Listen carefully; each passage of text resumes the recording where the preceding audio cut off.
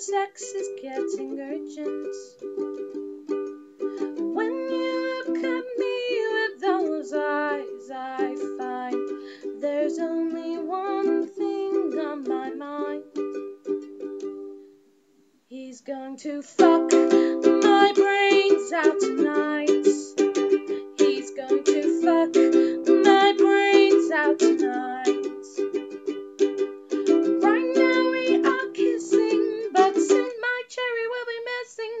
Gonna fuck my brains out tonight.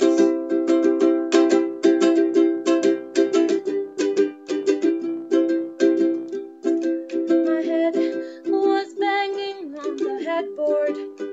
He had a face like he was doing a crossword.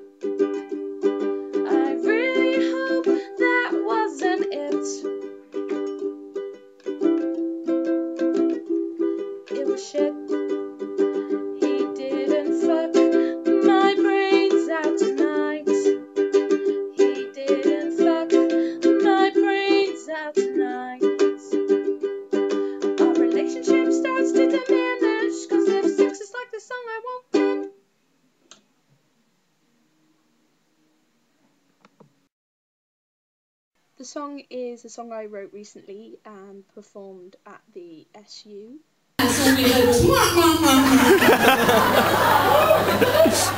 It was a part of the course that I was on.